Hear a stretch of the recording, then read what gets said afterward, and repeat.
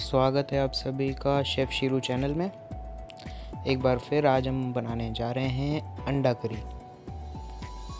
अंडा करी बनाने के लिए हम एक जार में प्याज, लहसुन, अदरक, जिंजर गार्लिक पेस्ट को एक साथ लेकर के ग्राइंड कर लेंगे।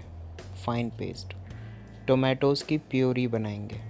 पूरा पेस्ट बेस्ड करी बनेगी। एग करी बेहतरीन। ये देखिए हमारा तैयार है पेस्ट और प्यूरी। देख सकते हैं आप, लाल टमाटर की बेहतरीन, लाजवाब प्यूरी।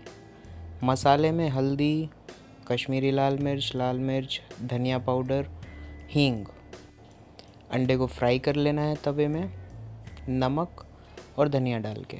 ये मसाले हैं, हींग, नमक, काला नमक, धनिया पाउडर, मीट मसाला white pepper whole red chili तेज़ पत्ता मेस, जावित्री।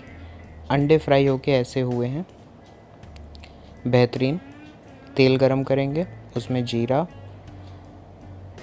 तेज पत्ता लाल मिर्च। तेज़ आँच में पूरा पकाना है और सीधा उसमें डालेंगे हम प्याज वाला पेस्ट डालते ही बहुत ही बेहतरीन खुशबू आएगी। कैमरे से तो आपके पास पहुँचने वाली नहीं है। सो जब आप इसको बनाएँगे, तब आपको ये बात याद आएगी कि वाकई खुशबू आती है। ये देखिए हल्का हल्का तेल छोड़ना शुरू कर दिया है मसाले ने। अभी इसमें कोई मसाला नहीं ऐड करेंगे, अब इसमें प्यूरी ऐड करेंगे, टोमेटो प्यूरी। जैसे ये चिपकने लगेगा नीचे, इसमें प्यूरी हमने ऐड कर देना है और मिक्स चलाते रहना है, चलाते रहने का खेल है। और ये सारे मसाले इसमें अब हम ऐड करेंगे। चलाने का खेल है पूरा, मसाला भुनना अच्छे से चाहिए टेस्ट तभी डेवलप होता है। ये नहीं कि हम उसको ढक के कहीं बैठ गए टीवी देखने, बात करने फ़ोन करने, ऐसे में टेस्ट डेवलप नहीं होगा। चलाते रहना है आपको, भूनते रहना है। मसालों का दूसरा सेट एक सात मिनट के बाद, सात आठ मिनट के बाद आपने ऐड करना है, जिसमें नमक, काला नमक और फ्लेवरिंग इंग्रेडिएंट्स होंगे। भूनना है स्टिर करते रहना है सॉटे करते रहना है। पानी ख़त्म होने लगेगा।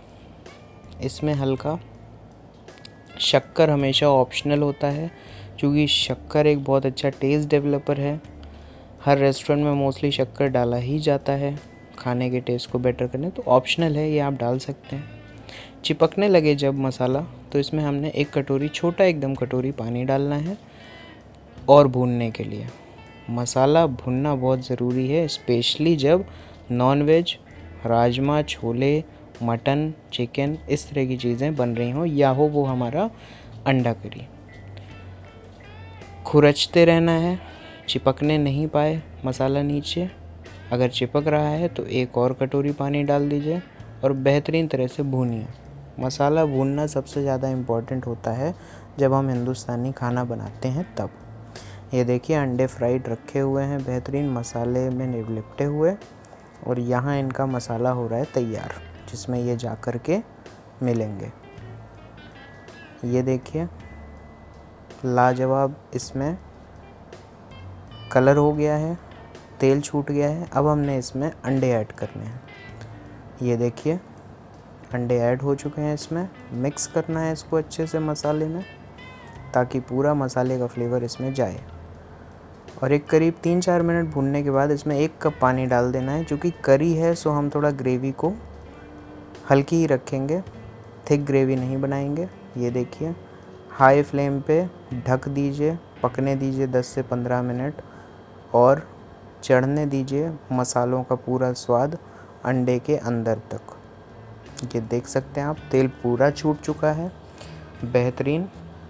जो लोग वेज हैं, वो आलू डाल दें। अंडे की जगह, और आपकी ये तैयार है। शानदार करी ग्रेवी आप देख सकते हैं। तो इस तरह से हम बनाते हैं अंडा करी। लॉकडाउन की वजह से कोरिएंडर लीव्स नहीं है, वरना इसके ऊपर थोड़ी सी गार्निश करते। और अच्छा लगता, यकीन मानिए, बहुत ही बेहतरीन बना हुआ है। आप भी इसे ज़रूर ट्राई करिए, अपने फ्रेंड्स और रिलेटिव्स में शेयर करिए। आने वाली रेसिपी मिक्स वेज। पसंद आया हो तो चैनल सब्सक्राइब करें, शेयर करें। शुक्रिया।